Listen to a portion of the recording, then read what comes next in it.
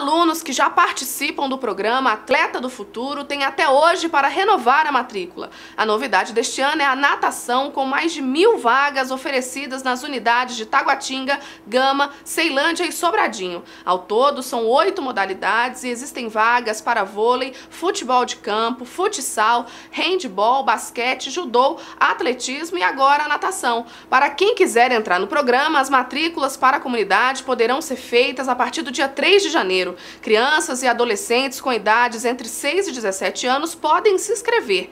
Tanto para a renovação quanto para a matrícula de novos alunos, é necessário apresentar identidade, CPF, número do PIS, uma foto 3x4, certidão de nascimento, declaração de escolaridade e atestado médico. Para o próximo ano, o programa irá oferecer 9 mil vagas e é de graça.